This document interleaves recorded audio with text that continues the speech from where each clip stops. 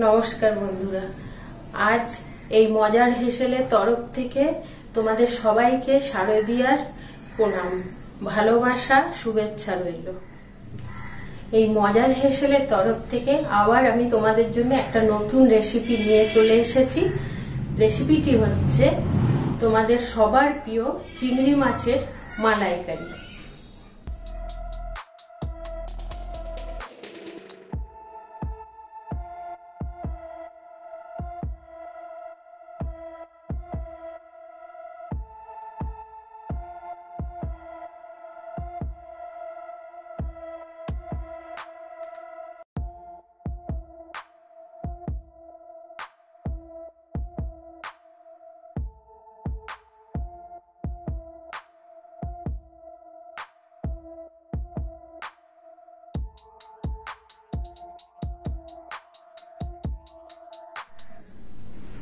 চলো তাহলে রান্নাটা শুরু করি। চিংড়ি মাছটা একটু নুন আর হলুদ মাখিয়ে দশ মিনিটের জন্য রেখে দেবো।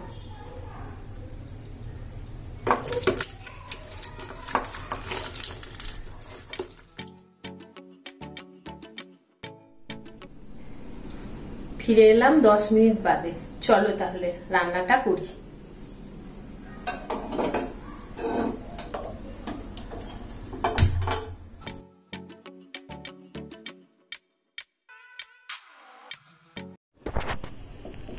কড়া গরম হয়ে গেছে, এখানে আমি তিন টেবিল চামচ সর্ষ তেল দিয়ে দিয়েছি। এবার দিয়ে দেবো এক টেবিল চামচ ঘি। এই রান্নাটা আমি সর্ষ তেল আর ঘিয়ে করব।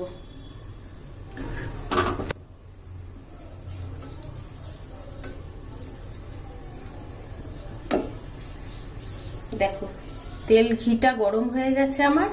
এবার দিয়ে দেবো গরম মশলাগুলো ফোড়ন, গোটা গরম মশলা।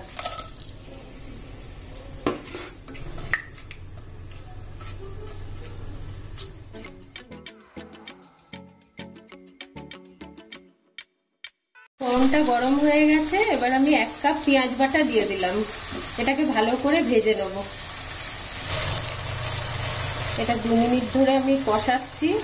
এই পেঁয়াজের কাঁচা গন্ধটা চলে গেলে তারপরে আমি অন্য মশলাগুলো দেবো। পেঁয়াজটা কষানো হয়ে গেছে। এবার আমি দিয়ে দেবো আদা দেড় টেবিল চামচ আর এক টেবিল চামচ রসুন বাটা। দিয়ে ভালো করে কষাবো।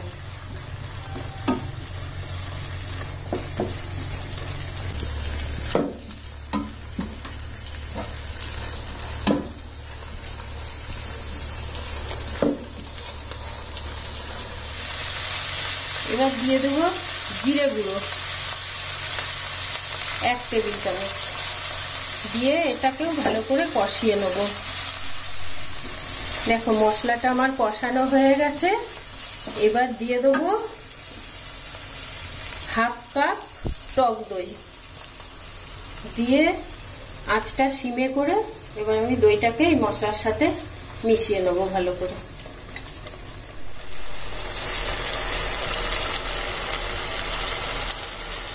দেখো দই দিয়ে মশলাটা কষিয়ে, মশলাটা তেল ছেড়ে দিয়েছে। এবার আমি দিয়ে দেবো গুঁড়ো লঙ্কা। এক টেবিল চামচ।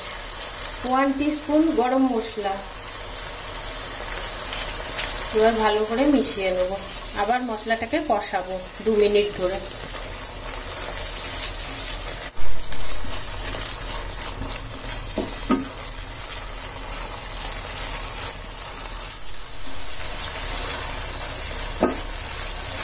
দেখো মশলাটা ভালো করে কষিয়ে নিয়েছি। এবার দেবো আন্দাজ মতো নুন।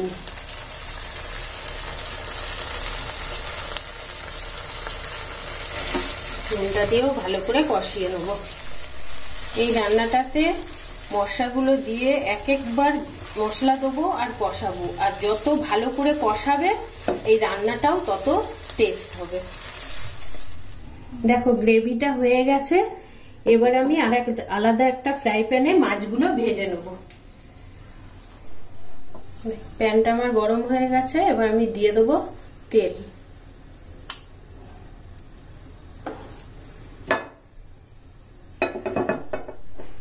দেখো, তেলটা আমার গরম হয়ে গেছে, এবার আমি মাছগুলো ভেজে নেব হালকা।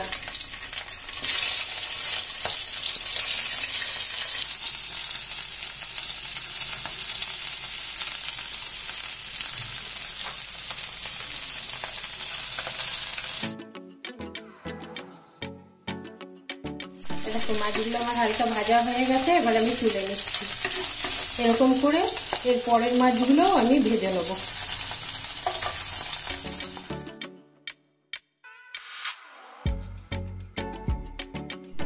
এবার গ্রেভিটার কড়াইটা আমি আবার বসাচ্ছি।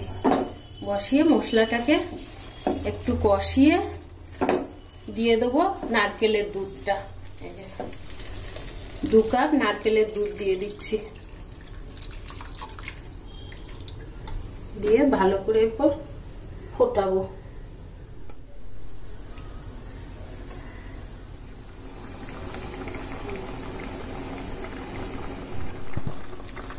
দেখো, আমার গ্রেভিটা ফুটে গেছে, কষানো হয়ে গেছে ভালো করে। এবার আমি মাছ দেবো, মাছগুলো দিয়ে কষাবো।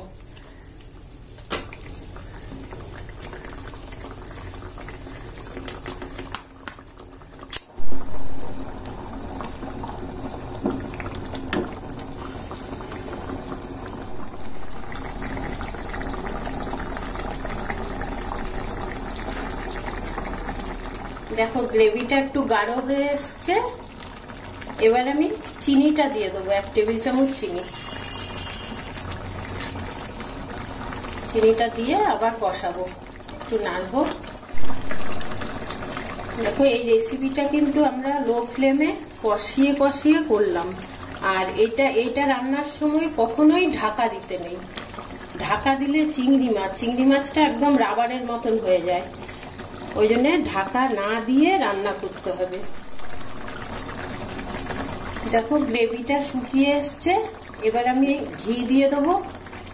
এক স্পুন ঘি দিয়ে দু মিনিটের জন্য রেখে তারপরে নামিয়ে নেব।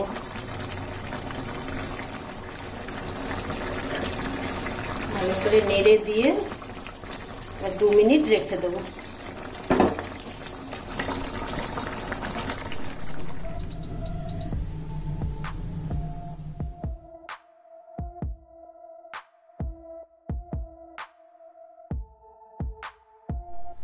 দেখো, চিংড়ি মাছের মালাইকারি আমার তৈরি হয়ে গেছে, এবার আমি সার্ভ করে নেব। সার্ভ করে তোমাদের দেখাচ্ছি। এ দেখো, হয়ে গেছে আমার চিংড়ি মাছের মালাইকারি।